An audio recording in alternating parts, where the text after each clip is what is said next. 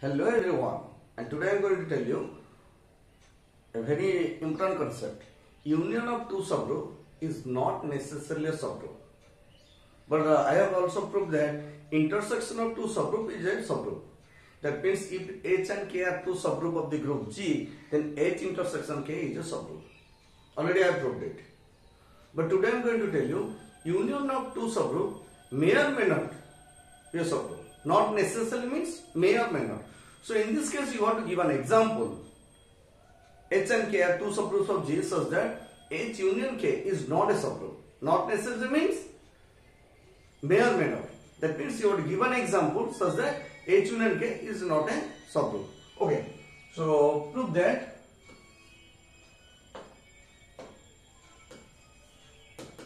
union of two subgroups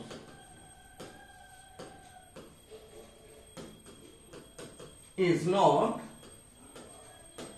necessarily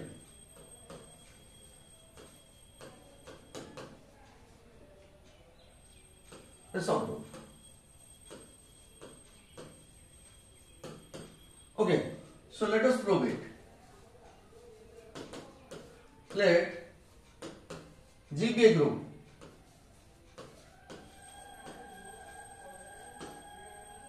Group of integers. Group of integers under addition.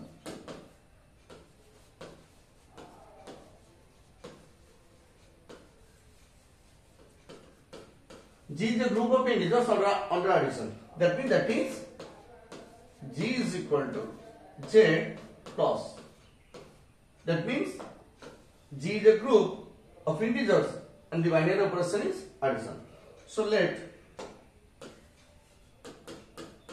H1 is equal to or directly I am writing Hj subgroup of G containing the even integers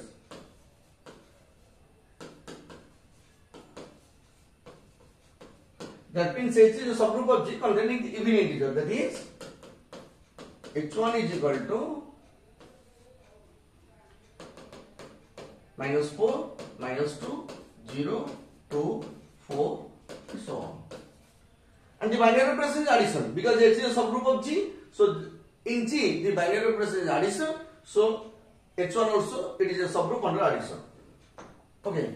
So it is not necessary to write uh, that H1 is a subgroup of G uh, containing the integer under addition. So again, let H2 is a subgroup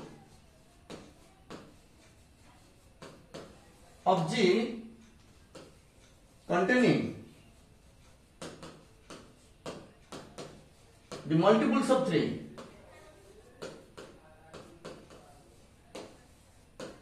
clear so that means x2 is equal to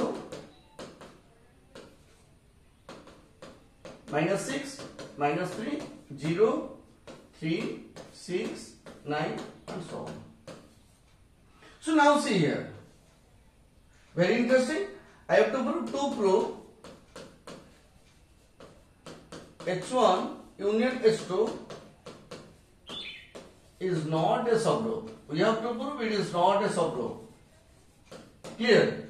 So now, what is H1 union H2?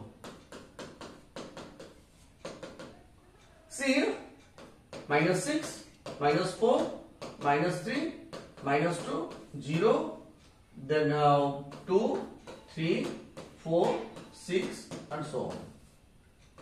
Clear? Now, very simple. Now 2 belongs to H1 union H2, 3 belongs to H1 union H2. Now 2, 3 belongs to H1 union H2 but 2 plus 3 under addition is equal to 5 does not belongs to H1 union H2 that means the closure axiom is not satisfied. Is that clear? That is closure axiom is not satisfied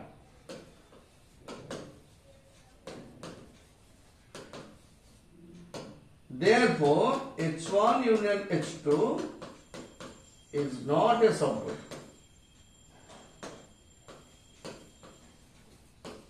Because subgroup of G. See here, I told you for subgroup closure axiom and inverse axiom must satisfy. But here closure axiom fails. So union of two subgroup is not necessarily subgroup. Clear? If there is any doubt, then uh, please tell me in the comment box. Okay, thank you.